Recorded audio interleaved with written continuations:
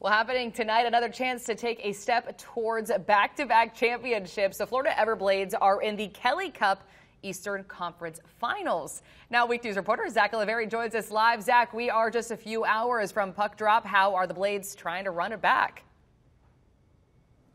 Well, Nicole, as Bon Jovi would put it, the Everblades are halfway there. Eight wins down, eight more to go as they try to repeat as Kelly Cup champions, and who knows, maybe even have another celebration out here on the ice.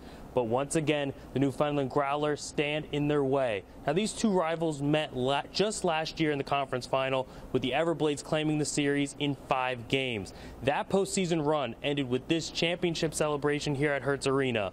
A win in this series gets the team closer to having another party, and who wouldn't want another party?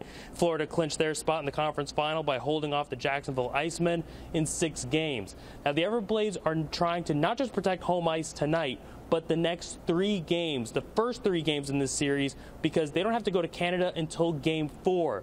Puck drop here is at 7.30, and there are still tickets available. Live at Hertz Arena, Zach Oliveri, Wink News.